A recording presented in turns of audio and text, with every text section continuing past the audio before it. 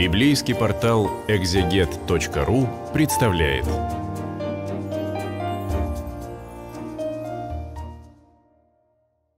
Здравствуйте, братья и сестры, все любящие чтение Слова Божия. Мы продолжаем с вами исследование книги Иова на библейском интернет-портале exeget.ru. И сегодня мы с вами читаем четвертую главу. И отвечал Елифас, филистимлянин, и сказал, «Если попытаемся мы сказать к тебе слово, не тяжело ли будет тебе? Впрочем, кто может возбранить слову? Вот ты наставлял многих, и опустившиеся руки поддерживал, падающего выставляли слова твои,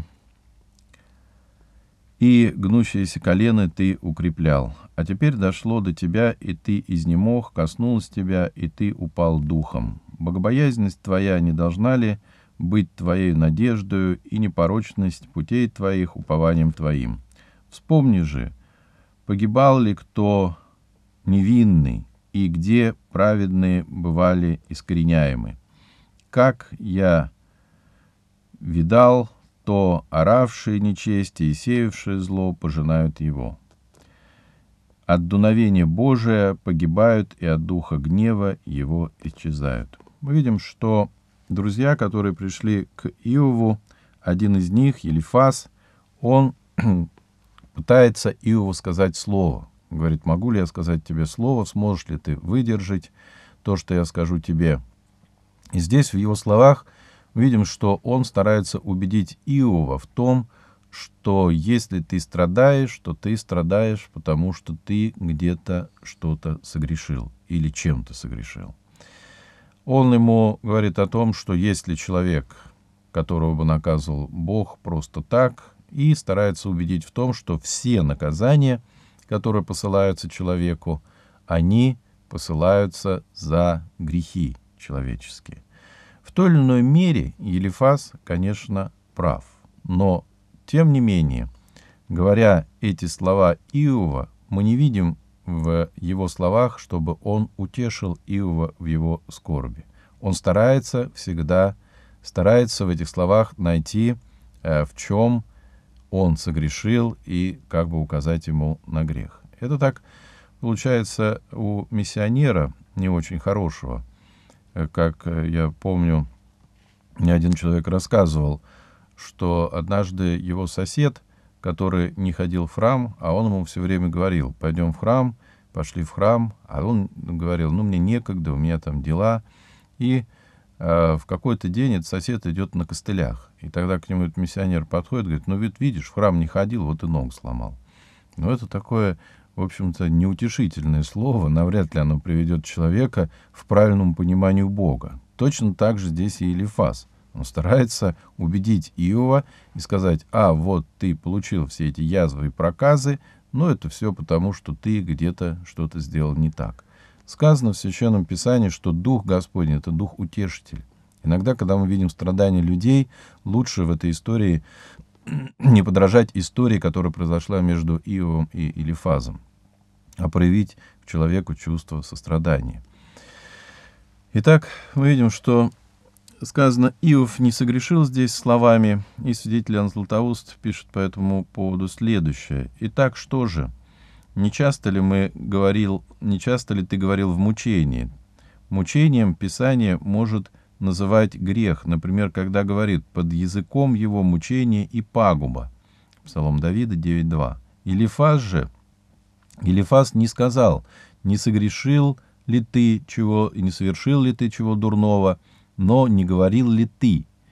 Ибо поскольку его жизнь сияла повсюду и по всей земле, он имел многочисленные свидетельства своей добродетели. Он говорит, «Не говори о том, что твои поступки прекрасны и добры», как бы ему хочет сказать Елифас, «ибо иногда грех кроется в словах». Поэтому мы видим, что Елифас не говорит конкретно ему, что что-то ты сделал плохое, но говорит, может быть, словом ты где-то согрешил. Силу слов твоих кто стерпит? И посмотри на слова. Не часто ли ты говорил? Его сомнение и замешательство происходят не от жалости, но от невозможности обличить явно. «Силу слов твоих», — говорит он. Что сказал Иов? В дальнейшем мы прочитаем. он помолился о том, чтобы умереть и избавиться от настоящей жизни, как мы видели это в предыдущей главе. Ничего такого Иов не произнес против Бога. Он говорит, Господи, если дана мне эта скорбь, может быть, мне лучше умереть, нежели нести эту скорбь. Так и пишет святитель Златоуст. Разве он сказал, я праведен, добродетелен и терплю такое? Нет, он говорит, я хотел исчезнуть вместе с нечестивыми, вместе с рабами и выкидышами, получить то же, что нечестивые. Он не сказал, я преисполнен таких-то и столько добродетелей, Господи, да, конец статы. Светлана Златоуст пишет, так и дальше не сказал, Господи, за что же ты меня наказываешь, я вот такой безгрешный. Нет, он просто перенеся свои страдания, как часто мы Э, когда у нас переносим какие-то страдания, тоже говорим, Господи, вот зачем лучше, может быть, и умереть, действительно, нежели нести эту тяжесть всего греха, но по смирению говорим, да будет воля Твоя. так и Иов ничего такого не произносит. Поэтому Елифас старается найти в нем и говорит ему, не согрешил ли ты словом? Среди размышлений в ночных видениях, то есть начинает исследовать, подсказывает Иов, как мы читаем, 13 стих, когда сон находит на людей, не согрешил ты так, тогда, объял меня ужас и трепет, и потряс все кости мои, и дух прошел надо мною, дыбом стали волосы на мне, он стал, но я не э, распознал его вида. Да, надо немного вернуться. Рев льва и голос рыкающего умолкает, и зубы Скимнов сокрушают, могучий лев погибает без добычи, и дети львицы рассеиваются. Вот ко мне тайна э, принесло слово, и ухо мое принял нечто от него среди размышлений. То есть здесь старается Ефас как бы убедить в том, что и у меня бывает такое, может, и я где-то слово обронил какое-то не такое, посмотри, может ли быть у тебя это тоже. Человек ли Э, праведнее человек, праведнее ли Бога, и муж чище ли Творца своего? Вот он и слугам своим не доверяет, и ангелов своих усматривает недостатки, тем более в обитающих и в храминах избрения, которых основание прах, которые истребляют скорее моли, между утром и вечером они распадаются, не увидишь, как они вовсе исчезнут, не погибнут ли с ними и достоинство их. Они умирают, не достигнув мудрости. То есть вся эта речь в 4 главе, и здесь всего, в общем-то, 21 стих, э, речь, э, Елифаза, она, он старается в, этой, в этих словах убедить Иова, что где-то что-то он согрешил, и как бы приводя пример о самом себе, вот и я, и у меня бывает такое, может быть, ночью где-то согрешил, и говорит, если кто безгрешен, только один Бог, и в ангелов он усматривает нечто, и прочие-прочие вещи. Вспомни, говорит в седьмом стихе, не погибал ли кто невинный, и где праведные бывали искореняемы. Да, ну вот, например, Григорий Великий по этому поводу пишет. Он вообще усматривает в его друзьях, в том числе в Елифазе, еретиков, да, которые часто обвиняют э, и стараются найти нечто то, чего, в общем-то, в э, церкви нет. Цитата Григория Великого. У него вообще есть такое вот самое пространное, пожалуй, толкование на книгу Иова, это у Григория Великого. Если есть интерес, всегда можно почитать. Итак, цитата. «Скажем ли мы, что друзья Иова здесь образ еретиков или кого-то еще с извращенными помыслами? но они столь же неподобающе порицают его, как и предусудительно его одобряют. Вот, говорит Елифас, погибал ли кто невинный, и где праведные бывают искореняемы. Но ведь часто погибают невинные, и искореняются праведники. Да только гибелью они заслуживают вечной славы. Смотрите, на что обращает внимание Григорий Великий. Что и праведники погибают. Мы знаем, что есть и мученическая кончина, и страдания за Христа но они заслуживают, как пишет Григорий, великой вечной славы. И если бы не погибал ни один праведник, не сказал бы пророк, праведник погибает, и никто не принимает этого к сердцу. Пророк Исаия 57.1.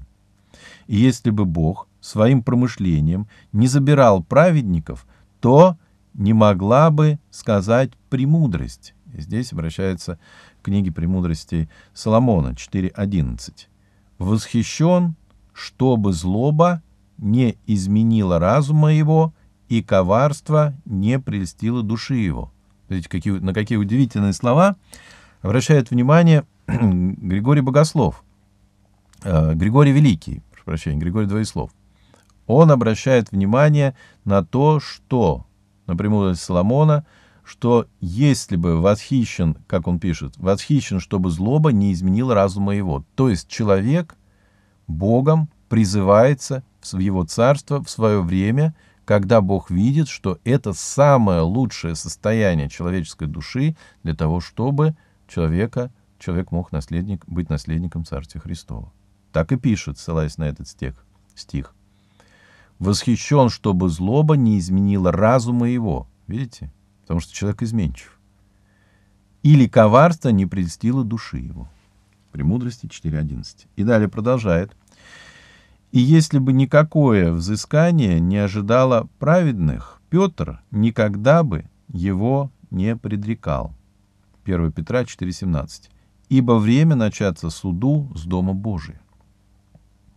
Приводит цитату апостола Петра. Ибо время начаться суду с Дома Божия потому что истинно праведны те, кто любовью к Вышней Родине готовит себя принять любые невзгоды жизни теперешней. Еще раз. Потому истинно праведны те, то есть он как бы говорит о том, кто человек, кто такой праведный, Иов праведный, в чем его праведность. Праведны те, кто любовью к Вышней Родине готовят себя принять любые невзгоды жизни теперешней. И далее продолжает. А страшащиеся даже ради благ вечности принять зло этой жизни выходят неправедны. Елифас не считает, что невин...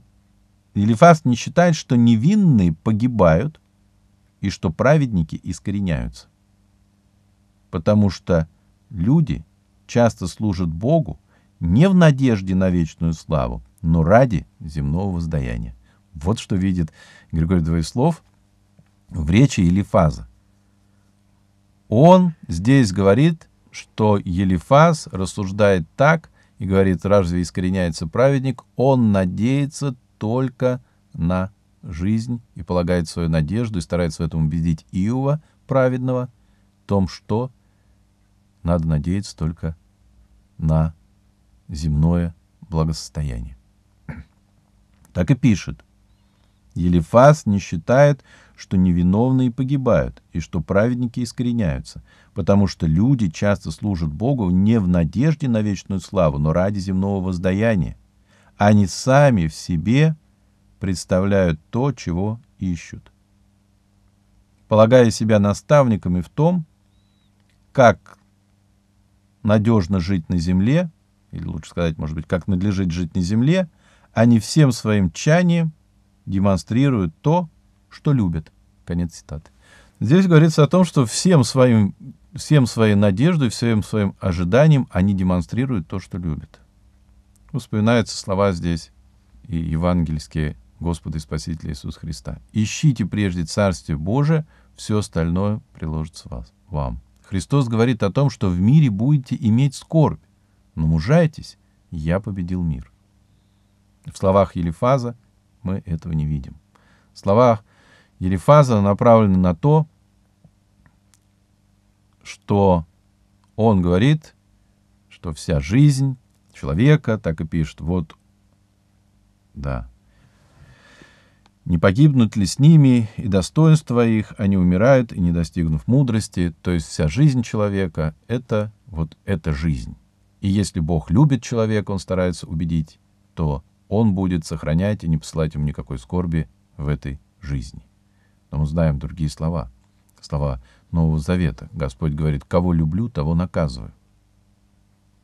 Поэтому очень удивительная здесь эта цитата по своему содержанию Григория Великого, его нравственной беседы, он так и говорит, что Элифаз не считает, что невинные погибают и что праведники искореняются, потому что люди часто служат Богу не в надежде на вечную славу, но ради земного воздаяния. Вот эти слова по отношению, или фаза по отношению к Иову. И дальше мы увидим в следующей главе, каков будет ответ Иова.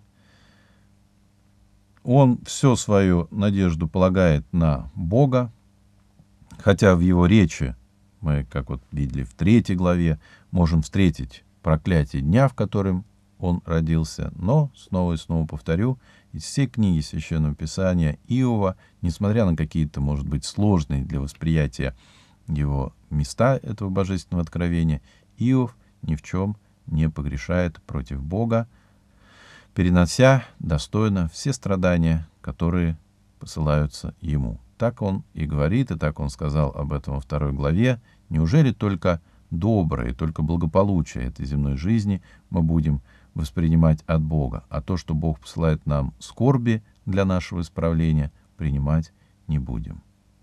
Вот об этом четвертая глава, которую мы с вами рассмотрели сегодня.